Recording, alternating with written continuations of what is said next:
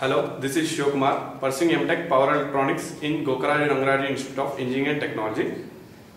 Today I am going to demonstrate my project which I have did in MTech that is development and testing of 7.5 watt non-isolated boost converter. Boost converter, the name itself indicates that the output voltage is always greater than the given input voltage. The main applications of this project are generally the regenerative braking wherein which is used in machines and uh, in many pieces we require this switch mode power supply for uh, different uh, process uh, I mean in, in uh, CPUs we need to get uh, these DC voltages for different motherboards and all sort of components. And in any other application wherein the output voltage should be greater uh, which is greater than the input voltage. And this is my hardware kit which is 7.5 watt non-isolated boost converter. In this the main components are inductor which is of uh, value 110 microhenry which is designed as 110 microhenry and a filter capacitor of 220 microfarad which is designed as 220 microfarad and a uh, MOSFET for high switching frequency I have used a MOSFET of IR, uh, IRF Z44 N-type MOSFET and this is the control circuit which is controlled by an IC from which we get uh, we generate pulses and given to the gate of the MOSFET.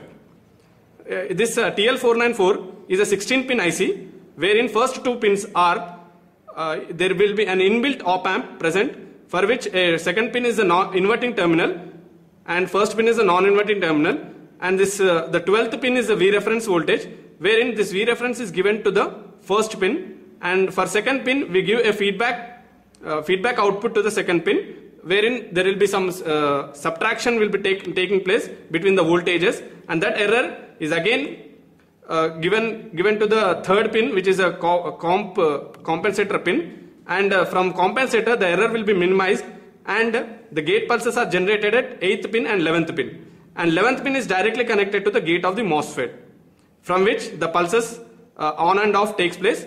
And from uh, through which we will get output as 15 volts.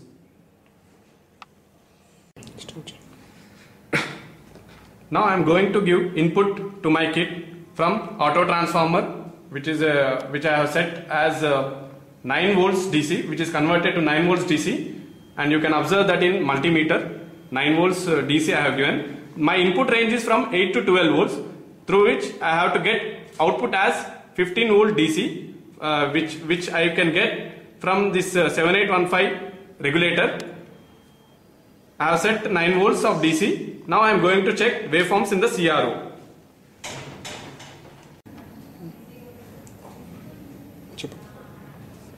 Now I am going to check my output voltage uh, across the load resistor which is of uh, 30 ohms load resistor of one uh, 3 watts which I, you, you can observe here and I am checking it at, across it and you can see the waveform in the CRO.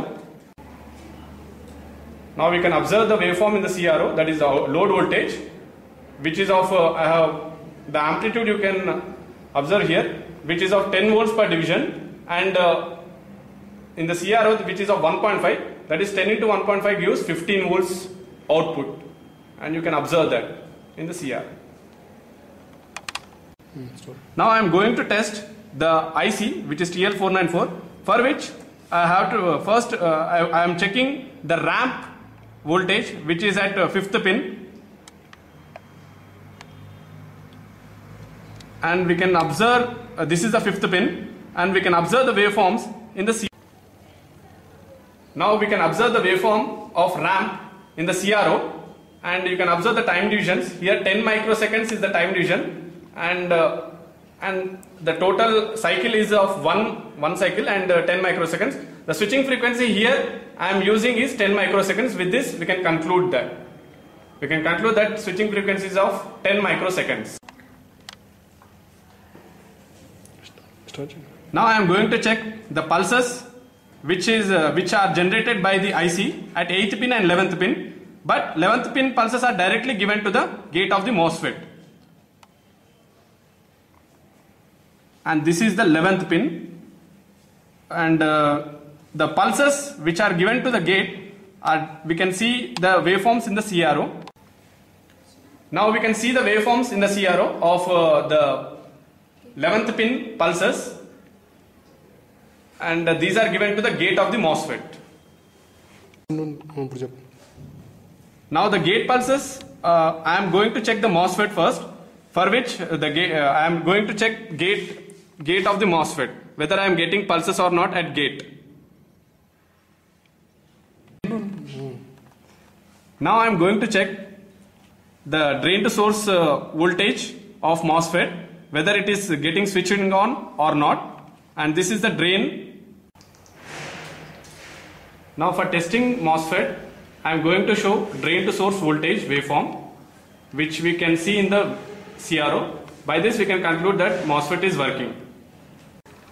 I have tested my circuit of 7.5 watt non- non-isolated boost converter at various testing points and I have got the desired output for which I have given a varying input of 8 to 12 volts and I got a constant DC output voltage of 15 volts and we have seen those waveforms in the CRO. Thank you. I have tested my circuit of 7.5 watt non- non-isolated boost converter at various testing points and I have got the desired output for which I have given a varying input of 8 to 12 volts and I got a constant DC output voltage of 15 volts and we have seen those waveforms in the CRO. Thank you.